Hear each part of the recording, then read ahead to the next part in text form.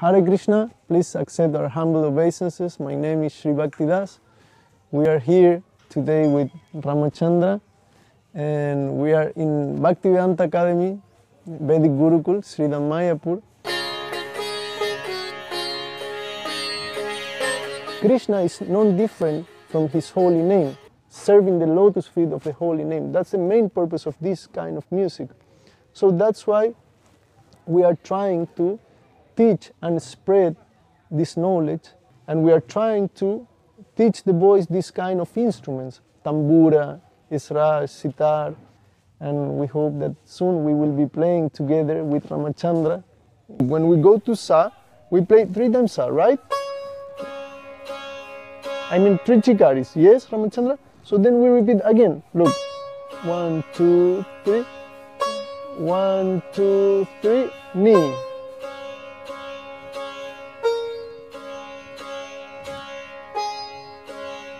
Okay? Clear? Now knee. Yes, very good. Nice. Good. The learning process of this music is very gradual and it can take many years. But for me it's very inspiring to see how the boys they are very like um, enthusiastically practicing every day and they are very like determined and we can see that now some boys are playing very nice. And for me it has been a beautiful experience to see that process. I remember when i started also and and it was like that. It was very gradual very slow. But every day you see that you are achieving a new step. You are giving a new step. And suddenly the instrument starts showing his own life because it is said also that these instruments they are not like material objects. They are like alive. They are like spiritual paraphernalia.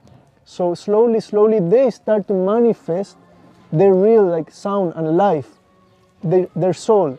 So that connection is very nice and you can see how the boys also experience that. Like they they learn how to feel the instrument how to connect with the instrument and how to bring out the best of themselves and the best of their instruments.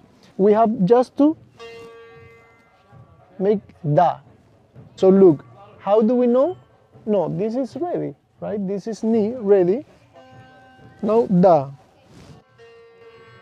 Little bit high, you have to make it high.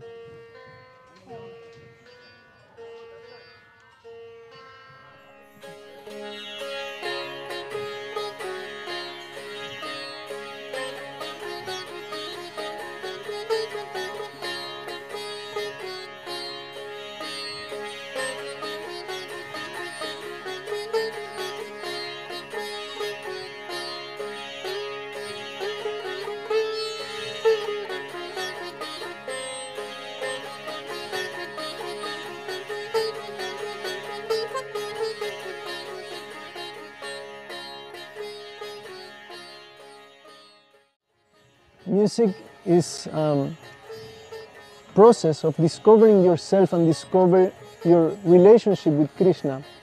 How can you serve in a better way to Krishna and also to all living entities? Uh, you can help many people through music when they are going through difficult moments.